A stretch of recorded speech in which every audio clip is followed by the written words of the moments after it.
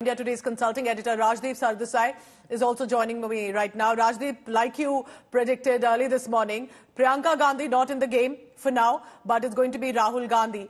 You tell us, what, what should one make of it? Because when you say Daro Mat slogan and then this happens, do you think it's largely because Priyanka Gandhi hasn't taken the decision that the Congress party thought, what do we do now?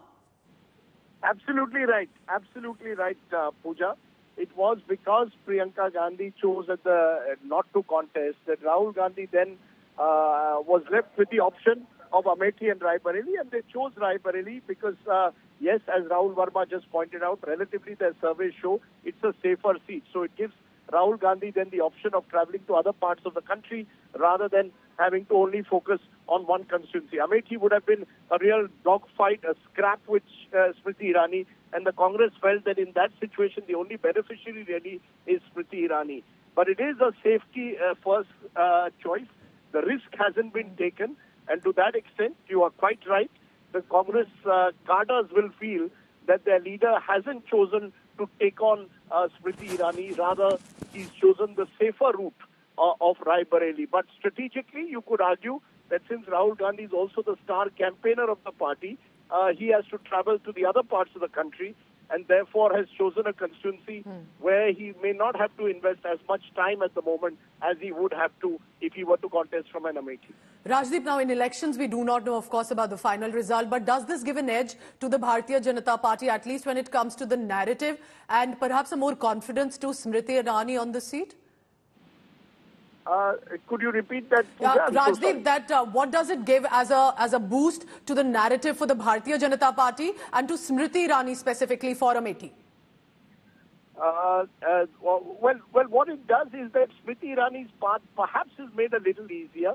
Uh, KL Sharma is a veteran congressman, but I can't see him, uh, you know, galvanizing the crowds in the manner that a Gandhi family member would have had uh, Priyanka or Rahul Gandhi contested from Amethi uh, knowing Smriti Irani, she will try and take full advantage of the fact that uh, Rahul Gandhi is not there and say that Rahul Gandhi is run away. It gives the BJP also that narrative to play up. So I think from Smriti Irani's point of view, it makes her road uh, to re-election possibly a little easier. Final question here then, Rajdeep. You know, Priyanka Gandhi still not in the electoral game. She's still the big star campaigner. But even for Rahul Gandhi, then doesn't it deserve a valid question? Why then fight even for two seats? Because the whole point was to fight from Amethi, show a strong fight. Even if you lose, you have Wayanad. But when it's both Wayanad and Raebareli, two seats, what does it really imply? Well, what it seems is that he's doing what Indira Gandhi famously did, Pooja in 1980, fought from both Medak and Raebareli and then gave up uh, Raebareli after she won both. The buzz is that if Rahul Gandhi wins both, he will give up Raebareli and then Priyanka Gandhi Vadra will contest from Raebareli.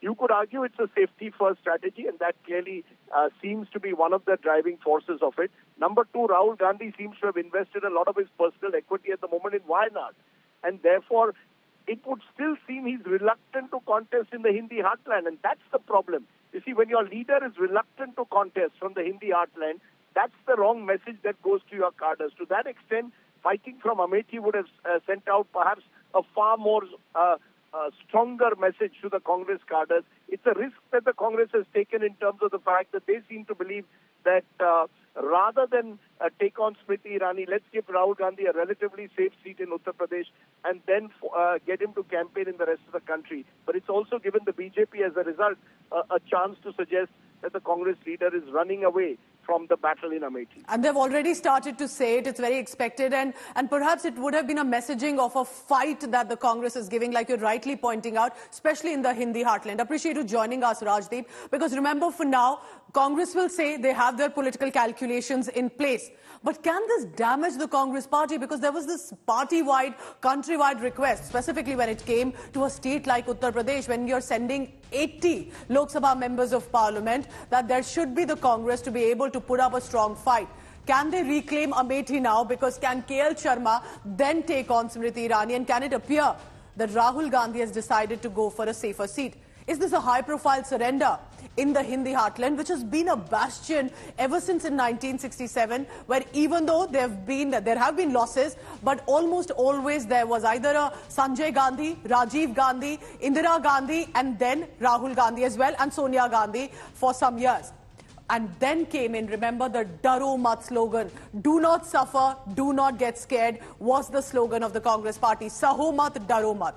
Is it hollow if a safer seat is chosen rather than a strong fight? And eventually, can it give a boost to Smriti Irani, who will say that she's not been able to only make inroads into the Gandhi bastion, and now that a Gandhi sibling does not even want to face her? Eventually, it will be about the cadre on the ground who has to campaign for these leaders and send the message across that not a Priyanka or Rahul but a KL Sharma is now ready for Amethi. People may know him on the ground in terms of an election manager, not as much of a mass leader. Rahul Gandhi was projected as a warrior, for now appears to have chosen a safe seat. Does that mean that Gandhi Amethi bastion, like it was said in one line, is not going to be on hearing? Failed chance to galvanize the party in Uttar Pradesh, the state where once the Congress, the Gandhis were the strongest, and now perhaps that one seat is where they are trying to bank on.